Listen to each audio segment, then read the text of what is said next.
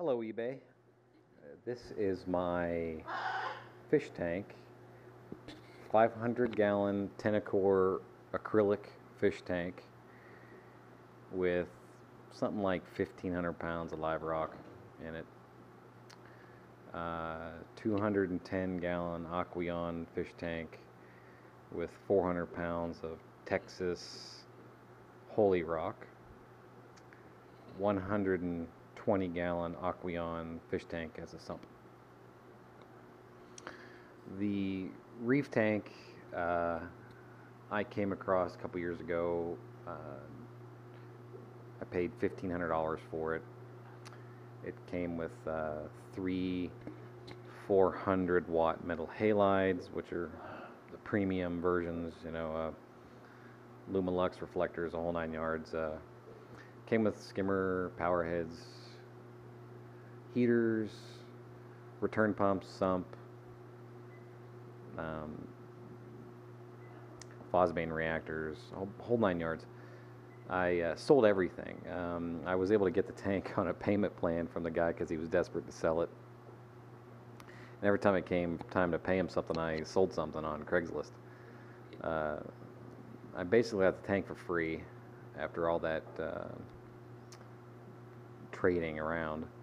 Um, I kept the canopy, the tank, and the lights. Uh, that's about it.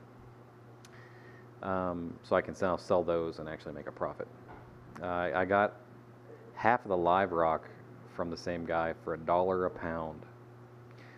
So uh, I can actually uh, sell that for two or three bucks a pound and make quite a bit of profit. But uh, that's not the purpose of this, is, uh, to get the tank at a good price. Um, I found the tank when these stands were being made for me. These stands are originally meant for uh, uh, two of those 210 gallon fish tanks up top butted together and I was going to make a canopy that spanned them to make them look like one fish tank so I could have three different ecosystems here but um, I couldn't pass that tank up so there is a piece of uh, one inch thick granite on the on top of the tank there stand that matches the kitchen granite and kind of ties the the theme together throughout the uh, throughout the house. This uh, is a standard fish tank. It wasn't reef ready. There are uh, two drain holes that were drilled in the back of the tank by my local fish shop that we put one inch bulkheads in. The bulkheads are in backwards uh, by most people's way of thinking of how they would go. Uh, I could have ordered the tank custom with uh, reef ready overflow boxes in there. Uh, they just wouldn't have put the holes in the bottom of the tank. They would have put them in the very bottom back side of the tank. Um, but that would have cost extra. So this was inexpensive to do. Um, it's worked out pretty good uh, to be able to put a, a screen on the top so uh, fish won't go down the drain.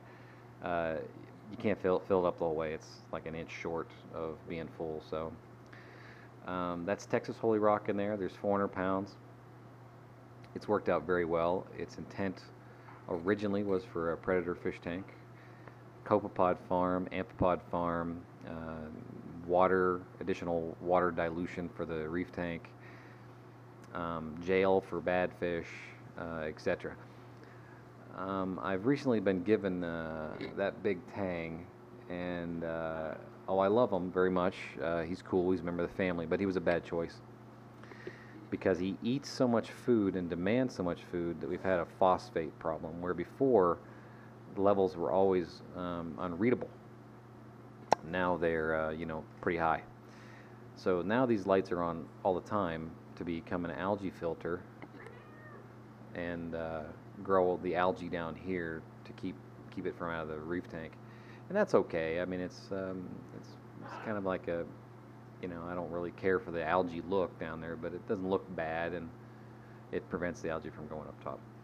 It's being lit by uh, two Kessil 150 uh, light bulbs uh, units. I'm very impressed with those. They only draw 32 watts of power each. They light a six foot tank very well. I will be adding a third to eliminate that shadow area in the center, but um, it's not necessary. There's also uh, a CoralVue Moon uh, strip up there, so when those lights are off, you can still see the fish. There's a matching unit over there above the sump, so I can uh, see what's going on in the sump at night. Um, these power cords are here on top in a jumble because I keep telling myself I'm going to buy an Apex controller. I just haven't found the scratch to do so. Uh, the overflow box gravity feeds the um, tank down below. There's a ball valve there to help control it. Um, wide open, the ball valve uh, is dumping in the tank. Uh, I'm guessing 500 gallons per hour. I'm guessing. Uh, what that ball valve can't take of the overflow, it can travels down the drain tube, goes into another one, which dumps the remainder of it back behind those rocks. Um, with them wide open, I've plugged one of the drains just to see if the other drain will take it, and uh, it almost does. Um, it's just shy of handling the load uh, wide open. So uh, normally I have them closed just a little bit, um, um, but uh, to, to make sure that if it, one of them got plugged. But this has been running now for over a year this way without any troubles, so no issues whatsoever there. There is a hose that attaches from there to the back of the sump where I have a matching hole, and the same deal there. There's a hose attaches to that to another hole in the back of the sump, and they are dumped out below water level on the sump at the four inch off the bottom mark. Um, the sump 120 gallon Aqueon with a Super Reef Octopus 6000 in uh, external skimmer being fed 750 gallons per hour does a great job it's rated for a 600 gallon fish tank but uh, this one is about 800 gallons of water now I would have loved to put the bigger one in there but that's the biggest one that would fit in a 120 gallon fish tank if I want any bigger I would have had to uh, use a 180 gallon fish tank and that would have eliminated the possibility of hanging my reactors on the front of the sump like I do without them sticking out the front of the stand. The other reason is that skimmer was $750, um, which I'm very pleased to pay. That's a great skimmer uh, for that price. It's just still a lot of money. The next size up is like $1,200, so uh, I would have needed a bigger sump and it would have cost a whole lot more. So uh, and it does a good job, and it did a great job. Uh, I haven't had any troubles except uh, once I got that free fish up there. Now I have some phosphate issues. These are some GFO reactors that I made. Um, $15, $15, $15, $3 in plumbing. Uh, most expensive part of the plumbing is the uh, um, quick press fitting joints, these things here, controlled by the ball valve, which is fed by the main return pump. Um, there are little holders in here that hold the GFO. Two and a half cups here, two and a half cups here, it's five cups. The last unit has a holder, but it's filled with a carbon. That's because you don't want GFO residue to make it out of your reactor because it can get pumped up to the tank where a piece of coral could eat it and potentially kill it. Now generally, I don't put carbon in here. I put a, a yarn house sediment filter, costs a dollar at the local plumbing store, and it catches the sediment. And then when I change these, I just pull it out and I rinse it, and I, it, it seems to last a very long time. But since my phosphate started elevating, I wanted to uh, take the carbon out of this one that's meant for carbon and put a GFO block in here. So there's another two and a half cups in here and I took that carbon and one and I put it over here. So I have three uh, GFOs and two carbons still uh, with no uh, catch. Um, I really like this design, it works great. You can easily control the flow with a half inch ball valve. Uh, if you put a three quarter inch ball valve in there, make sure you put another ball valve in there to control the flow, but half inch ball valves work great. Uh, this is a pellet reactor This pellet reactor is not being used for what most people would use it for. Most people would use this for uh, phosphate nitrate, uh, nitrate control, but uh, I'm using it to take the edge off of some of those items, but mainly to create bacteria to feed the filter feeders in the tank. And it must be working because uh, I have a ton of sponge and I like it the way it looks. A lot of people don't, but I do. And it's growing like crazy. Um, plus, this unit's pretty cool. And I've also hooked it up in a similar fashion. Uh, there's also a uh, sterilizer, which is run off the same fashion, hung on the back of the tank. You can't see it back there, but it's hung on the back side of the sump, much like my reactors are. Water comes in, goes out, dumps in, and there is a uh, um, flow meter on the output, um, so I can control the output. The pumps are HY 10,000s from CoralVue. They're the bubble blaster. They're the water pushing version that's on the um, bubble blast, uh, bubble blaster Super Reef Octopus. Um, they push about 3,000 gallons a piece. Uh, at eight foot head, they're still pushing 1,000, 1,200, something like that.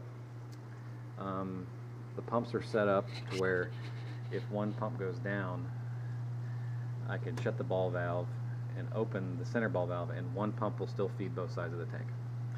As it is right now, one pump feeds one side, and the other pump feeds the other side. Uh, and that's worked out quite well. Um, now, the reason for this video is because this free fish over there, who's a member of the family now, uh, he ain't going anywhere, so I have to deal with these phosphates.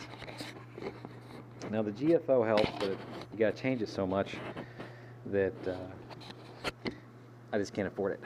So what I'm doing is um, lanthanum chloride treatments. And um, I'm beginning to think that I don't even have to ever use GFO if I uh, use this. It's dirt cheap. There's a bottle that's it. It's the SeaKlear phosphate remover. And you can verify that it's 100% lanthanum chloride by the uh, MSDS sheet on the SeaKlear website. Do not use the other brands. Uh, they have copper in them, some other elements that'll hurt the fish. Um, normally, you would use IV bag. This is a tube feeding bag, but it's the same principle. Um, most fish tanks would use a half an ounce or 15 mils and a thousand liters of water dripped into the sock of your sump. Use a 10 micron uh, sock, nothing bigger. And what happens is, as the uh, lanthanum chloride hits the water as it mixes in the sock, the phosphates precipitate out of the water and it looks like sand or snow. And if you use too big of a sock, that snow will make it through the sock and then get back in the tank. And then the sand that's being made, the phosphate sand, will get lodged in your uh, sand bed or in your rock, and then it'll dissolve back into solution. So um, you got to use a small enough sock. Now, most people would use 15 mils in a thousand liter bag of DI water, and they'd run it through the tank in about you know four, five, six hours, and they'd have to change their socks out like every hour because the, the sand clogs the sock up pretty bad. And I was doing that, and it works great. But I've had better success by taking three ounces of lanthanum chloride, mixing it in a thousand liters of DI water, and dripping it in over the over three or four days in my tank, and uh, that's worked out pretty well. Now I change the socks about every six hours. Uh, once in the morning, once when I come home from work, and then once before I go to bed and uh, uh, I alternate it. That sock I changed about an hour ago, and what happens is the water at water level it comes out the sock at water level, but as the sock gets clogged up, the water comes out the sock higher and higher and higher and higher and higher. And uh, then I just move the tubing from there to here into the next sock, and then I change that one, and then I let this one run for six hours. Um, these socks, by the way, I got them from Randall's uh, or something of that nature. a biodiesel make-it-yourself website. Um, they're four bucks a piece. They're fantastically uh, built. This is a stainless steel ring in here. Um, cheap, cheap socks. And by the way, 10 micron socks are the way to go. Uh, I've been using 100 and 200 micron. Uh, I'm never using those again. 10 microns all the time. Uh, no holds bar. Awesome. Um, now, if you don't know anything about IV tubing, um, how you set the rate is you watch this drip chamber right here. Um, unless it's meant for pediatrics, um, the drip chamber, 10 drops is a mil. So you get a watch and you figure out how much, how fast you want it to go. And if you want it to go one mil per minute, then you you set the uh, adjuster knob for 10 drips a minute. If you want it to go two mils an hour, that's 20 dr- drops a minute. Or three mils is 30 drops, etc. You have to do the math and you have to count it. Um, now, if you if you want the thing running faster, like if you got a smaller tank and you do the two or three hour method, you need to um, uh, not count over a minute, count over, break it down to 15 uh, second intervals, and count over that. I'm running about a minute, um, uh, one mil per minute over, you know, a couple days, and uh, it's working out great. Um, now this tank, please ignore the husbandry issues of the tank. Um, the water is crystal clear, but you can see there's some algae growing up here, and that's because uh, I've been on vacation for two weeks, and when I uh, while I was gone, I had my girlfriend feeding the tank pellets to make it easy for her, and um, the tank got a little overfed, and we have some uh, some algae up here now, but um, and on the on the glass, which normally doesn't occur, but uh, between the algae filter and the predator fish tank over here, and the lanthanum chloride, that'll all die off in no time at all. Um, that is my lanthanum chloride treatment. Here's what the bottle looks like. This bottle costs 30 bucks. It even comes with free clarifier for your swimming pool. Um, of course, I wouldn't use that in a reef. Um, there's a measure on the side. There's a if you poke a small hole in the seal up top, you can uh, don't take the lid, the seal all the way up. Just poke a hole. You can turn it upside down and squeeze it out and use this uh, measure device here. Um, this bottle could last a, a reefer in a small tank a lifetime. Um, I think this will last me at least six months a year, and that's not using any GFO. And uh, 30 bucks over a year compared to GFO prices is pretty, uh, pretty good deal. I've seen no ill effects on the fish, the anemones, or the soft coral that I have. Uh, admittedly, I am not a chemistry professional, uh, but uh, if you uh, had harder corals or more expensive corals, you may want to be more cautious. But if you just have a fish tank or soft corals or inexpensive corals like I have, uh, uh, there's been no ill effects whatsoever from this. Uh, thank you very much. Bye.